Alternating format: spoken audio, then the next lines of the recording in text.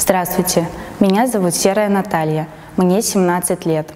Я студентка Тверского промышленно-экономического колледжа. Моя профессия, на которой я обучаюсь, называется «Основа информационной безопасности автоматизированных систем». Я занимаюсь эстрадными танцами в студии хореографическое искусство «Атмосфера». Свободное от учебы и занятий время я развиваю свои навыки в акробатике и совершенствую знания немецкого языка. Также я являюсь демонстратором одежды студенческого дома моделей.